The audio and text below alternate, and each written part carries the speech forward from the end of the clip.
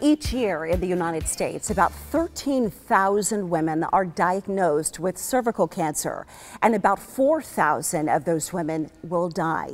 Here with the risk factors and treatment options are doctors Eric O'Lear and Mario Pineda. They are with Ironwood Cancer and Research Centers. Great to have both of you with us.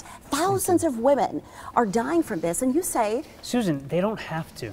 They don't have to because they need to take preventative steps now. So, what is the cervix? So, the cervix is the part of the uterus that projects into the vagina. It's the birth canal. So it's the birth canal. It's where we deliver our babies, where we bring life into the world.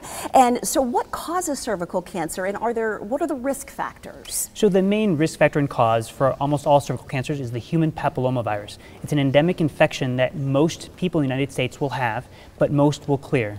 It's the persistence of this human papillomavirus, or HPV, mm -hmm. that causes cervix cancer. All right, so every year uh, women are told, hey, go and get a pap smear, make sure you're being an advocate of your health. What is a pap smear, and is that one of the preventative ways That's that exactly we can keep right. from getting cervical cancer? So the pap smear is indicated for all women ages 21 to 65, and then we do the pap test, which checks for the um, HPV virus as well for older women. These are really important and are, should be done every three to five years. And Dr. O'Lear, some of the treatment options. So a woman hears, yes, you have cervical cancer. What are the treatment options that are available uh, to her at Ironwood? Sure.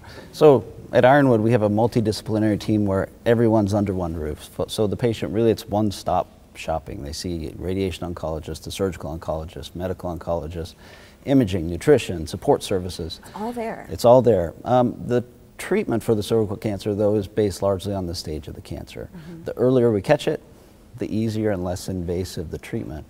Um, in fact, Dr. Pineda is one of the pioneers in some really non-invasive approaches for early cervical cancer. Right, and you were saying, uh, Dr. Pineda, that when we were told it was every year, but you, women don't necessarily have to get a pap smear that often. No, you should have a pelvic exam on a regular basis annually, but the pap test actually is dependent on the age and the kind of testing that's done every three to five years. Three to five years. And we've heard a lot about the HPV vaccination um, for, for girls as, you know, as young as preteens. Do you recommend it?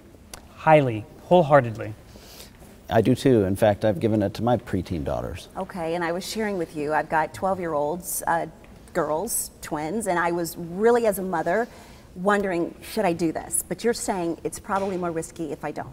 Agreed, and it's available and indicated for both boys and girls, men and women. And how? What are the age? What is the age range for that HPV vaccination? Really, the goal is to have it before first sexual activity. Okay, so before sexual activity. I want to go back to cervical cancer. Is it hereditary?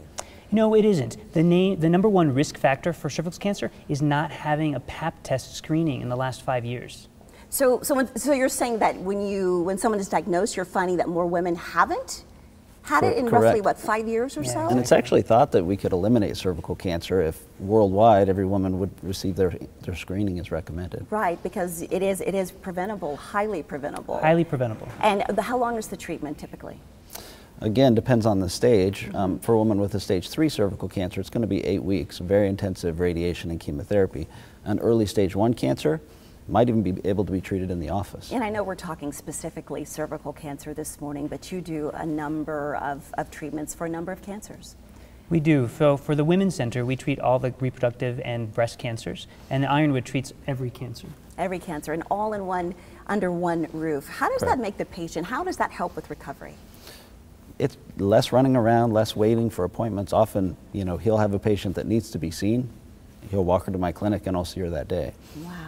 It's an amazing opportunity for patients to get comprehensive cancer care. Right, and it's a team approach. Thank you so much. Oh, Great well, information, gentlemen. We thanks appreciate you. Ironwood Cancer and Research Centers, they have nine Valley locations for your convenience. If you would like to book an appointment, please call 480-821-2838 or visit ironwoodcrc.com.